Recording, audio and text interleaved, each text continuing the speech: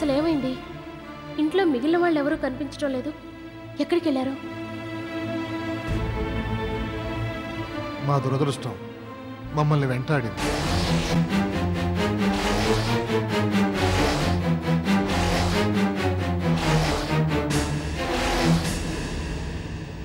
ఇప్పుడు మైత్రి ఏ హాస్పిటల్లో ఉందో చెప్పండి. నేను వెళ్ళి చూసి వస్తాను ఎలాగో నేను హాస్పిటల్కి వెళ్ళాలి. నువ్వు వెళ్ళి స్నానం చేసి భోంచేయమ్మా. ఇద్దరం వెళ్ళొద్దాం. వెళ్ళక్క వెళ్ళి స్నానం చేసిరా.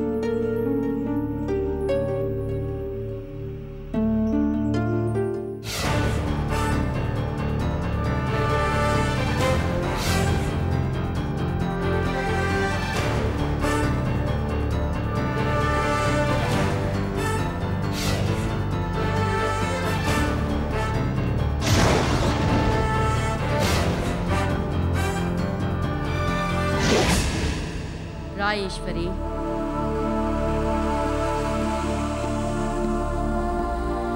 ఏంటి? ఆ సన్యాసి కానీ వాడు మనుషులు కానీ ఏవైనా కబురు చేశారా? లేదు. కానీ దేవకిని మాత్రం జైలు పాలు చేశాను. దాన్ని ఎలా జైల్లో పడేశావు? Very simple. అది నన్ను చంపాలనుకుంది. నేను దాన్ని కన్ఫ్యూజ్ చేసి దాని చేతులతో అదే నాగేశ్వరిని షూట్ చేసేలా చేశాను. హాస్పిటల్ నుంచి నాగేశ్వరిని ఇక్కడికి పంపించిన తర్వాత నేను నాగేశ్వరి స్థానంలో ఉండి దేవకి నన్ను చంపడానికి ప్రయత్నించిందని పోలీసులకి వాంగ్మూలం ఇచ్చాను. దాంతో దాన్ని లోపల పడేశారు.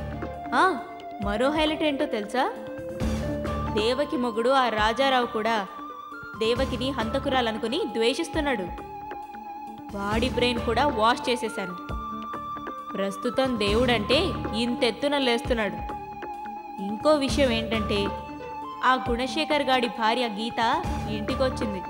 వేసి పారేసి ఉండకూడదు ఓ పని అయిపోయేది దాన్ని చంపాల్సిన అవసరం ఇప్పుడు మనకి లేదు. వాడు కనిపించడం లేదని గీత చెప్తోంది. నా అనుమానం ప్రకారం వాణ్ణి ఆ దైవశక్తులే ఎక్కడో దాచి ఉంటాయి. రేపు వాణ్ణి మన నాశనానికి ఉపయోగించుకోవడానికి ఆ దైవశక్తులు ప్రయత్నిస్తే అప్పుడు దాన్ని అడ్డం పెట్టుకొని మన పనులు పూర్తి చేసుకోవచ్చు. అందుకనే దాన్ని ఏం చేయకుండా వదిలేశాను. కరెక్టే. మంచి పని చేసావు ఇంతకీ ఆ నాగేశ్వరి స్పృహలోకి వచ్చిందా? ఆ, వచ్చింది. వాళ్ళ అమ్మా నాన్నల్ని చూడాలని అడిగింది. వస్తారని రెస్ట్ తీసుకోమని డాక్టర్లో మాట్లాడి మేనేజ్ చేశాను. సరే పద. దానికి అనుమానం రాకుండా కాసేపు మాట్లాడొస్తాను.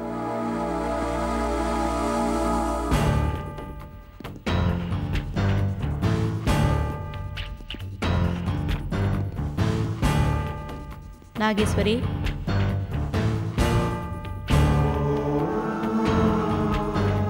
ఈశ్వరి ఇప్పుడు ఎలా ఉంది? నేను అమ్మని చూడాలి. అమ్మేది? అదంతా తర్వాత మాట్లాడుకుందాం. ముందు రెస్ట్ తీసుకో. లేదు. నేను అమ్మని చూడాలి. ఎలాగైనా అమ్మని ఇక్కడికి తీసుకురా. ప్లీజ్. తీసుకురావడానికి అమ్మ మనకు అందుబాటులో లేదు నాగేశ్వరి. మరి అమ్మ ఎక్కడుంది? జైల్లో. జైల్లోనా? అవును. నేను చంపడానికి ప్రయత్నించిందని పోలీసులకి తెలిసిపోయింది. అందుకే అరెస్ట్ చేశారు. ఈశ్వరి ప్లీజ్. అమ్మని ఎలాగైనా కాపాడు. నేనేం చేయగలను నాగేశ్వరి? పోనీ నన్ను జైలుకి తీసుకెళ్ళు. నేను అమ్మతో మాట్లాడాలి. నిన్నిక్కడి నుంచి తీసుకువెళ్ళడానికి డాక్టర్ ఒప్పుకోవాలిగా? నేను ఇప్పుడు బాగానే ఉన్నాను. డిశ్చార్జ్ చేసి తీసుకెళ్ళండి. ఏం డాక్టర్ గారు? డిశ్చార్జ్ చేసి తీసుకెళ్ళొచ్చా? Sure no she all right Nageswari లే వెళ్దాం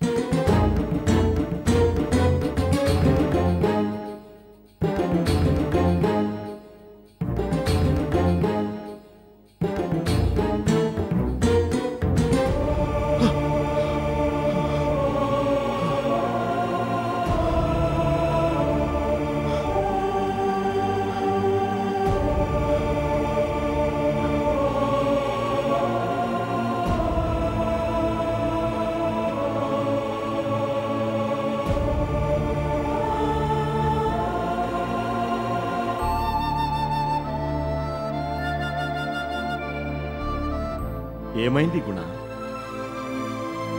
ఏకాగ్రత కుదరటం లేదు. నేను నా మనసుని కంట్రోల్లోకి తెచ్చుకోలేకపోతున్నాను. ఎందుకని? పోయి నా బిడ్డ గుర్తుకొస్తుంది.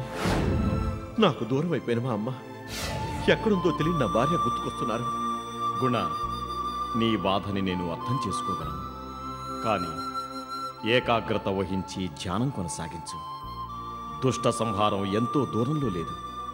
నువ్వు గనుక ఇప్పుడు ఏకాగ్రతతో ధ్యానం చేయకపోతే నీకు శక్తులు ప్రాప్తించవు. ఆ తరువాత యుద్ధం చేయడానికి శత్రువుల్ని జయించడానికి అవకాశమే ఉండదు. మీరు చెప్పేది నాకు అర్థమవుతుంది. కానీ నా మనసు ధ్యానం చేయడానికి సహకరించడం లేదు.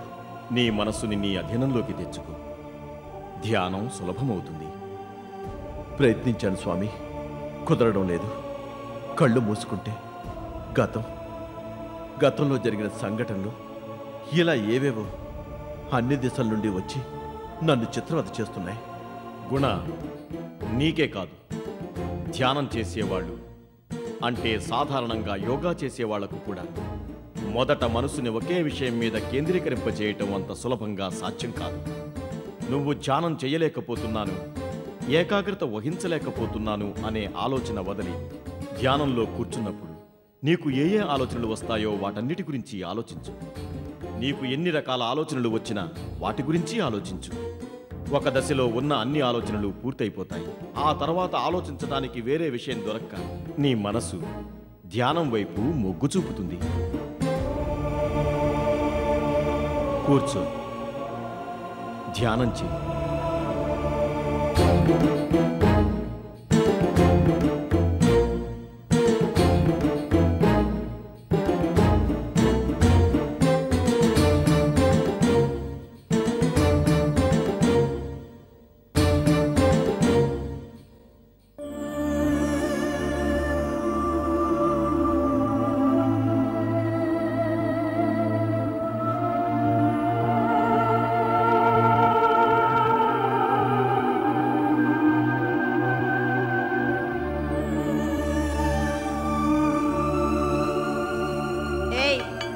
నీకోసం ఒక అమ్మాయి వచ్చిందిరా.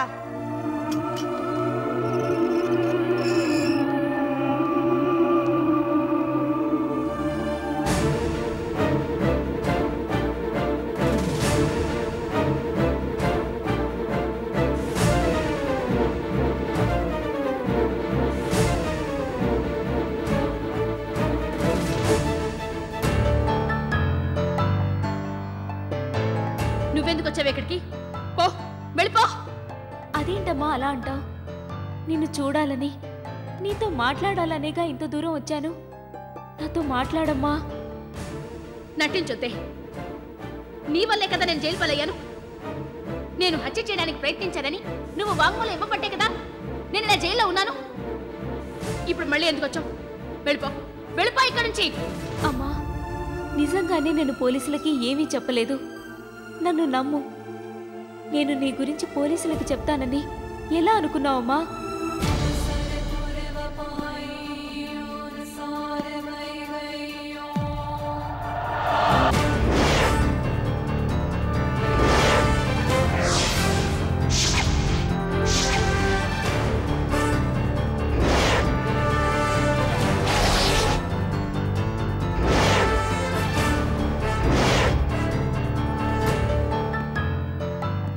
నాగేశ్వరి అమ్మ బాగా డిప్రెషన్లో ఉంది. నేను మాట్లాడొస్తాను నువ్వు కాసేపు బయట ఉండు అది కాదు అమ్మ నాతో అస్సలు మాట్లాడడం లేదు. నువ్వు వెళ్ళు అమ్మ చేత నేను మాట్లాడిస్తాను.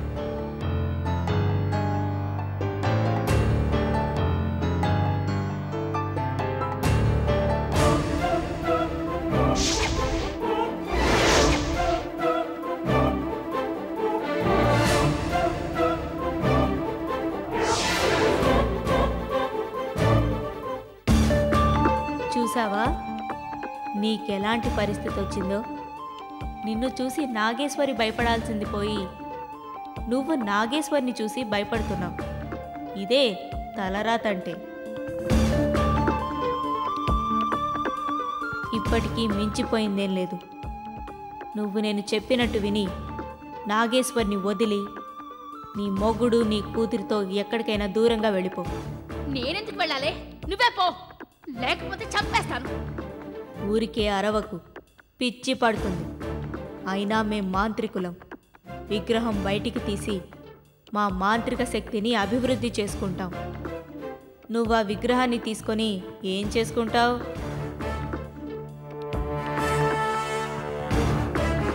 ఓ! అది బంగారు విగ్రహం కదా.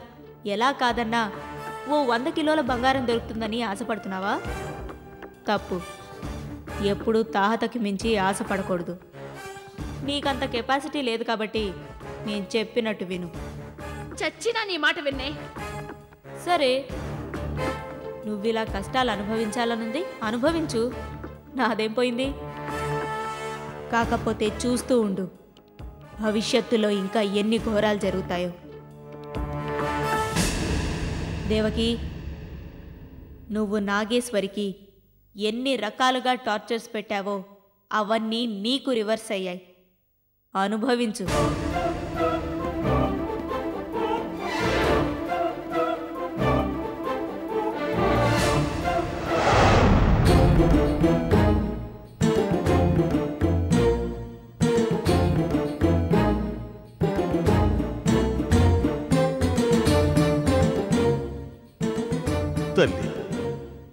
ఆ దుష్టశక్తి మనకు గడువు ఇచ్చి ఇప్పటికే ఏడు రోజులైపోయింది. మనం వెంటనే ఏదో ఒక నిర్ణయం తీసుకోకపోతే చాలా ప్రమాదం. నాగేశ్వరి నన్ను పిలిచేంత వరకు నేను వెళ్ళను. పదే పదే ఇదే మాట చెప్పటం వల్ల ప్రయోజనం ఏమిటి తల్లి? ఆ అమాయకురాలికి పరిస్థితి తెలియడం లేదు. నాగేశ్వరి పూర్తిగా ఆ దుష్టశక్తుల కోరల్లో చిక్కుకుపోయింది. ఆ మూర్ఖులు ఎప్పుడు ఏం చేస్తారో తెలియదు. ఒకవేళ మన అశ్రద్ధ ఆలస్యం వల్ల నాగేశ్వరి ప్రాణాలకు ఏదైనా ప్రమాదం వాటిల్లితే ఏం చేయాలి? ఇంకా ప్రమాదం రావడం ఏంటి? నాగేశ్వరి ప్రాణాలకు ప్రమాదం వాటిల్లినప్పుడు కూడా నన్ను తలుచుకోలేదు నన్ను పిలవలేదు. తను పిలోని అప్పుడు వెళ్తాను. అయ్యో తల్లి నీకు నేను ఎలా చెప్పను? నాగేశ్వరిని రక్షించటం మన బాధ్యత. అది నీకు నేను ప్రత్యేకంగా చెప్పక్కర్లేదు. అలాగే నాగేశ్వరి కూడా నన్ను నమ్మాలి. తనకి నమ్మకం లేనప్పుడు దైవమే వద్దనుకున్నప్పుడు నేను మాత్రం ఏం చేస్తాను? తల్లి బిడ్డలు తల్లిని వద్దనచ్చేమో కానీ తల్లి ఎప్పుడూ బిడ్డల్ని వద్దనకూడదు. నాకు నా బిడ్డ కావాలి కాదండం లేదు. కానీ నాగేశ్వరి నన్ను పిలవాలి అంతవరకు నేను వెళ్ళను. తల్లి నువ్వు మాకు దైవం. నీ మాటను మేము ఎదిరించకూడదు. అయినా నేను నీకు ఒక మాట చెప్తాను. మొదటి నుంచి నాగేశ్వరి క్షేమాన్ని నేను చూసుకుంటూ వచ్చాను. ఈరోజు నాగేశ్వరి ప్రమాదం అంచుల్లో ఉంటే ఏమీ చేతకాని వాళ్ళ చేతులు కట్టుకొని నించోలేదు నేను వెళ్ళి ఎలాగైనా నాగేశ్వరం రక్షిస్తాను. నాగేశ్వరిని రక్షించడానికి నేనే వెళ్ళినప్పుడు నువ్వు మాత్రం ఎలా వెళ్తావు? దయచేసి వెళ్ళొద్దని నా చేతులు కట్టేకమ్మా నేను వెళ్ళి తీరాలి. నా అనుమతి లేకుండా నా ఆజ్ఞ లేకుండా నువ్వు వెళ్ళడానికి వీల్లేదు. మీరు వెళితే శిక్షిస్తావా తల్లి?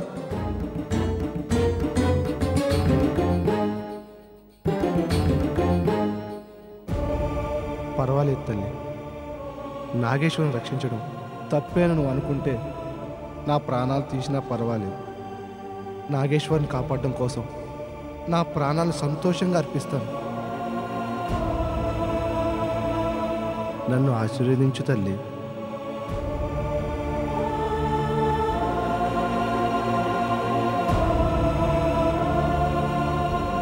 వెళ్ళిరా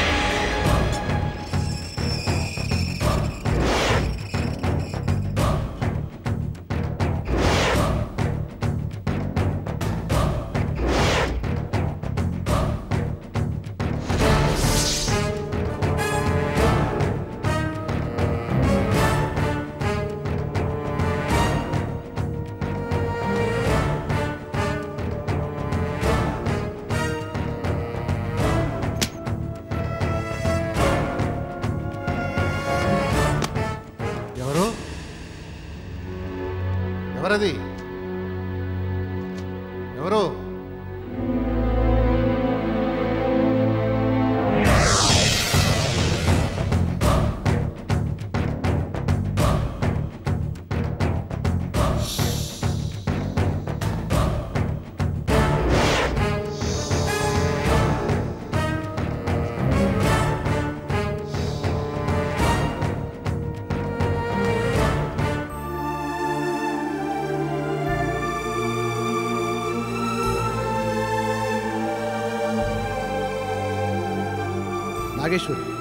నేను చెప్పే జాగ్రత్తగా విను.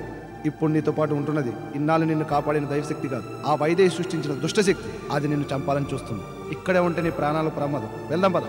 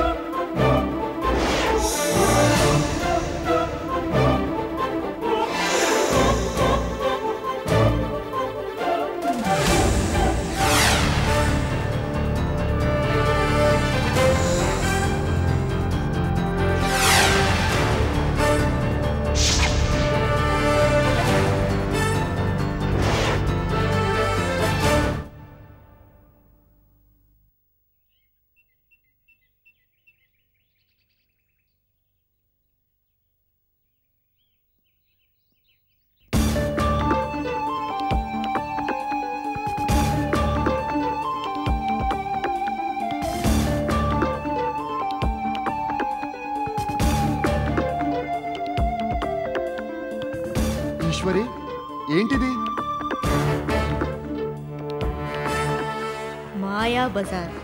అసలు వీణ్ణి ఇంత చిన్నోన్ని ఎలా చేశావు? ఎందుకు చేశావు? వీడు నా గురించి నాగేశ్వరికి చెప్పాలని వచ్చాడు ఆవేశంలో అక్కడున్నది నేనా నాగేశ్వర అనేది కూడా చూడకుండా మొత్తాన్ని చెప్పాడు. నేను వీడిని పట్టి బాటిల్లో పడేసేంత వరకు నేను ఎవరనేది వీడికి తెలీదు. భలే మంచి పని చేశావు. ఏరా పిచ్చోడా అడవికి వెళ్ళిపోమ్మని నీకు చిలక్కి చెప్పినట్టు చెప్పాను. విన్నావా? చూడు ఇప్పుడు నీ పరిస్థితి బోనులో చిక్కుకున్న ఎలకల అయిపోయింది. ఏంట్రా అలా చూస్తున్నావు? ఇప్పుడు ఏం చేయగలవు? ఈశ్వరి వీణ్ణిలా ఇవ్వు తీసుకెళ్ళి గొయ్యి తీసి కప్పెట్టేస్తాను వద్దొద్దు. వీడినంత ఈజీగా చంపితే ఎలా? ఆ సన్యాసిగాడు తోక తిప్పకుండా వీడో మంచి ఉదాహరణగా ఉంటాడు. పద. వీణ్ణి కూడా ఆ డూప్లికేట్ నాగేశ్వరి ఉన్న గదిలోనే ఉంచుదాం.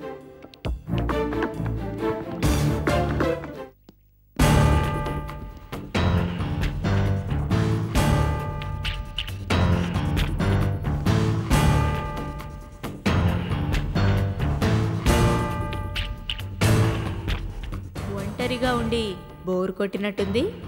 అందుకే నీకు కంపెనీగా వీడిని తీసుకొచ్చాను.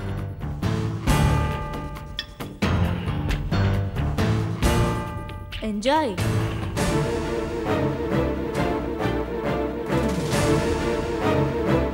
విశ్వం ఆ గుడ్డి దాన్ని తీసుకెళ్ళాలి. పదా.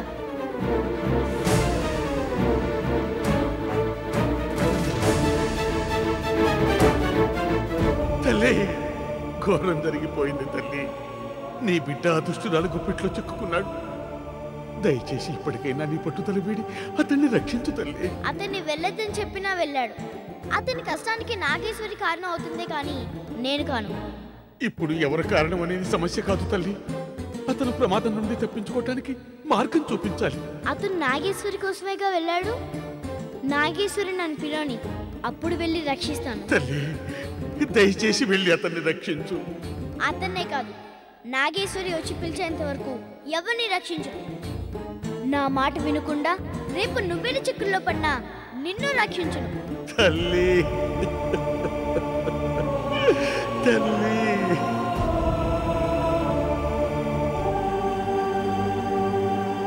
ఎందుకు మన దైవం నాగేశ్వరిని రక్షించడానికి రావడం లేదు? నాగేశ్వరితో పాటు ఉంటున్నది నువ్వేననుకుంటుంది ఆ పిచ్చిది అందుకనే మన దైవం స్వయంగా నాగేశ్వరికి ఆ దుష్టశక్తి గురించి చెప్పాలని ప్రయత్నించింది. కానీ నాగేశ్వరికి చూపు లేకపోవడం వల్ల దైవాన్ని దుష్టశక్తి అన్నట్టు చిత్రీకరించి నాగేశ్వరిని నమ్మించింది. అది నమ్మిన నాగేశ్వరి నిజంగా దైవమే అక్కడికి వచ్చినా నాకు అవసరం లేదని వెళ్ళిపోమని చెప్పింది. అంతే దాంతో మన దైవం కూడా మళ్ళీ నాగేశ్వరి ఎప్పుడైతే పిలుస్తుందో అప్పుడే వెళ్ళి నాగేశ్వరిని రక్షిస్తానని ముండి పట్టుదలతో ఉంది. అప్పటికి నేను ఎంతో చెప్పి చూశాను కానీ ఆ తల్లి నా మాట వినలేదు. ఇక లాభం లేదని. నేనే నాగేశ్వరికి ఎలాగైనా జరుగుతున్న విషయాలు చెప్పాలని ప్రయత్నం చేశాను. ఆ ప్రయత్నంలోనే ఇలా బందీ అయిపోయాను. ఇప్పుడు నాగేశ్వరిని ఎలా కాపాడాలో తెలియడం లేదు. నేనిక్కడ వైదేహి మాంత్రికంలో బందీ అయిపోయాను. నేనిక్కడి నుంచి బయటపడ్డం సాధ్యమయ్యేలా లేదు. ప్రస్తుతానికి నువ్వు మాత్రమే నాగేశ్వరిని రక్షించగలవు. ఎలాగైనా నాగేశ్వరిని ఆ దుష్టశక్తి బారి నుండి కాపాడు. నేను ఈ సీసాలో బందీ అయిపోయాను కదా ఎలా రక్షించను?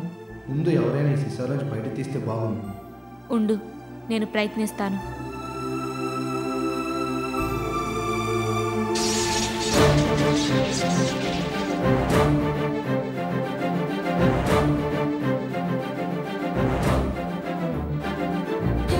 లాభం లేదు.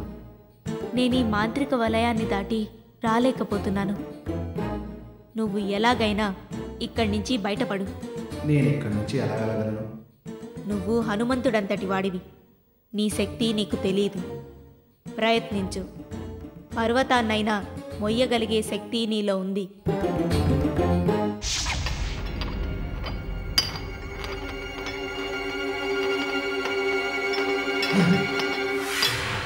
Huh.